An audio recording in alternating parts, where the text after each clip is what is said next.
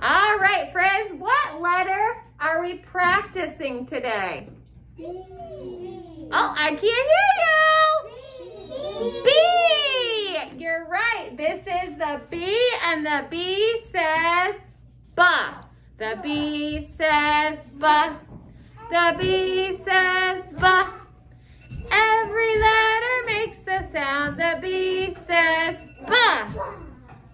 Let's say our pictures. There's a ba ba ball, a ba ba butterfly, a baby, ba ba baby, and banana. Those are all words that start with B. All right, are you ready for my question? Do the captain capital and the lowercase look the same or different? They're a little bit different. This one has a big line and two bumps. This one has a big line and only one circle. So they're a little bit different. Okay, today my helper starts with the letter B. Brooklyn! Come on up, Brooklyn. Brooklyn gets to be my helper today. Oh my goodness, she's coming fast. All right, we're gonna count the days of September. Ready? Count with me. One, two, three. We've had three days in the month of September. We gotta look straight up from the three. What's this day called? It comes after Wednesday and it's called Thursday. Let's sing them.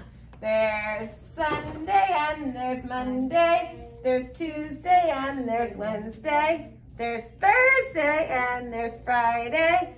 And then there's Saturday. Days of the week. Days of the week. Days of the week. Days of the week. Days of the week.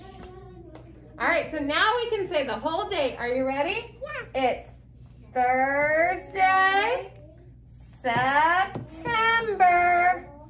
number three, 2020.